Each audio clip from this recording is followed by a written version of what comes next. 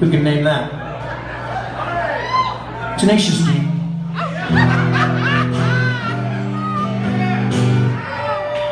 Yeah, I'm gonna play that, um, but I want to tell you, Adam, you back it down in my wedge, please, I want you. Um, tell you a little story about this song. This song was written uh, by Pete and myself back in 1991. A little bar around the corner from our rehearsal studio, and uh, we got talking about religion. I was raised Roman Catholic.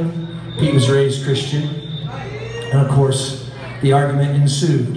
And uh, the beauty of that argument was this song came out of it. But I just want to say, in light of everything that's been going on, um, there are bad people in the world. Just because they're Muslim or Hindu or, you know, Baptist or whatever the fuck it is, it doesn't matter. It's not everyone.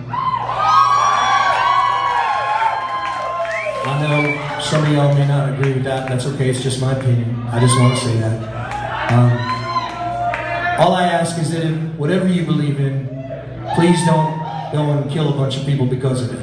Because that's, uh, that's not cool.